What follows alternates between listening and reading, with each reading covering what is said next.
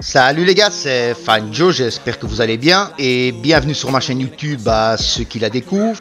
Et on se retrouve aujourd'hui bien évidemment sur la map de GTA V et plus précisément dans le désert. Et vous pouvez remarquer que je suis à côté d'un cactus normal dans le désert et je vous demande de regarder juste un instant. Ça vous rappelle rien?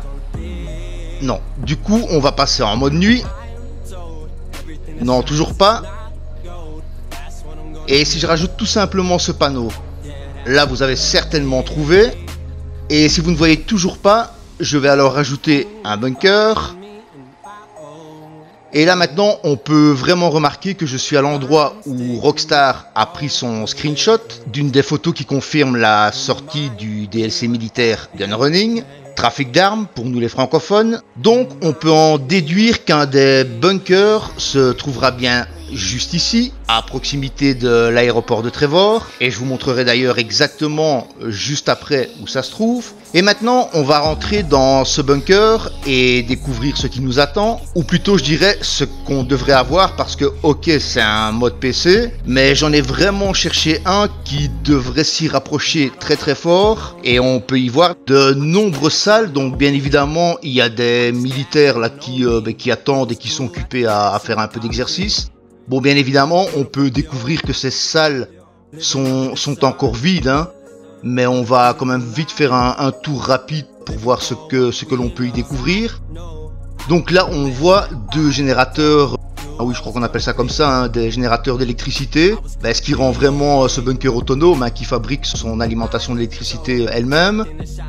Donc là, on va aller voir dans ces couloirs, et donc on voit ben, bien évidemment qu'il y a de, de nombreuses salles on va aller là juste à gauche et donc on peut voir qu'il y a là des emplacements. On peut imaginer peut-être que ça servira de, parking pour mettre nos véhicules militaires. Là, on peut voir une salle avec des, personnes qui attendent sur des, lits tout simples. Et je ne sais pas si vous vous rappelez, dans les toutes premières infos d'il y a quelques semaines, on verra si c'est toujours d'actualité. Parmi ces missions, il y aura donc du trafic d'êtres humains également.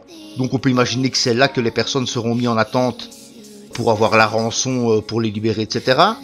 Donc voilà, là on continue, on est toujours euh, ben, dans les couloirs où il y a pas mal de soldats. On va rentrer là, et donc bien évidemment, comme le DLC l'indique, c'est du trafic d'armes. Donc euh, là on voit qu'il y a pas mal de stockage d'armes qui ont été fabriquées.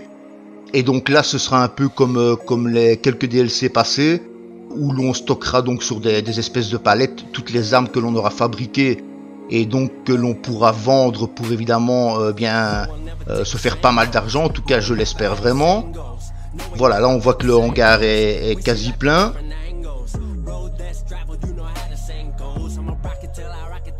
On va se rendre juste en face et là on se trouve dans une grande pièce également où l'on voit sur les tables des armes. Donc on peut imaginer que ce sera éventuellement l'endroit, le stand de tir où on pourra s'entraîner bien évidemment avec nos nouvelles armes.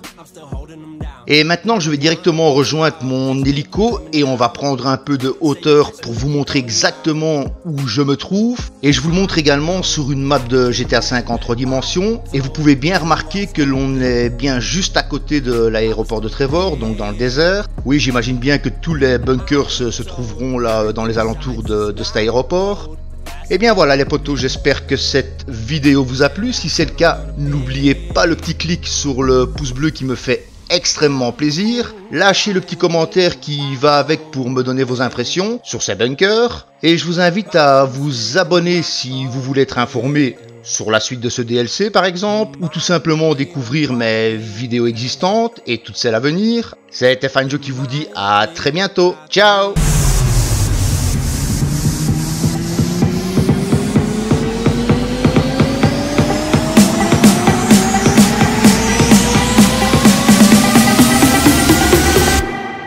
Bow to the king.